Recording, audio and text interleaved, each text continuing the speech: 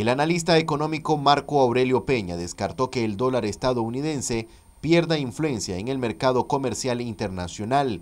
Lo que está pasando hoy, ¿verdad? Son factores geo, hay una hay una cuestión geopolítica, ¿no? Por un lado Rusia que tiene aliados en América Latina como Nicaragua, Venezuela o Cuba, que a final de cuentas son países con una participación pequeña en el comercio internacional, a diferencia de Rusia, me refiero a los países latinoamericanos. Sin embargo, sin embargo, Rusia por sí sola no tiene una influencia suficiente como para decir que va a desplazar, digamos, el rublo al dólar en el sistema monetario internacional. Ni siquiera lo ha hecho el, el, el, el yuan chino ni tampoco el yen japonés, porque eso también va a depender primero de nuevas conferencias internacionales, quizás similar a la de Bretton Woods, que en, el que se discuta un nuevo orden económico mundial, un nuevo sistema monetario internacional y por supuesto que la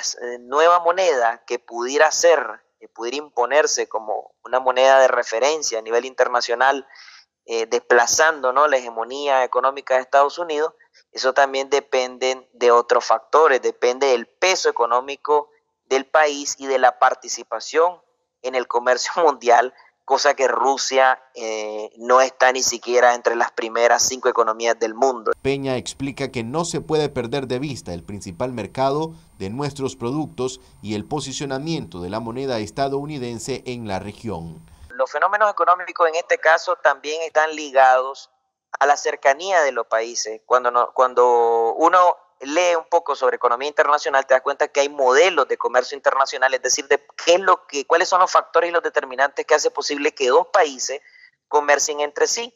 Pueden haber un sinnúmero de variables, por ejemplo, distancia, relaciones políticas, relaciones antecedentes históricos, eh, verdad, necesidades económicas, como decía Smith, dime qué es lo que necesita y te diré qué es lo que yo quiero y entonces vamos a hacer comercio. Eh, si nos ponemos a pensar el por qué la cercanía o la, o la dependencia de nuestras economías hacia Estados Unidos también tiene que ver por el factor geográfico y porque Estados Unidos se convirtió en el principal comprador de nuestras materias primas.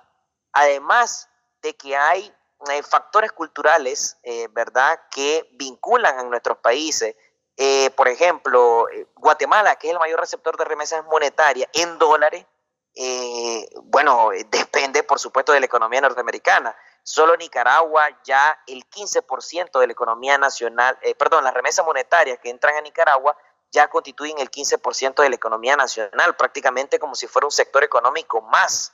Marcos Medina, Noticias 12.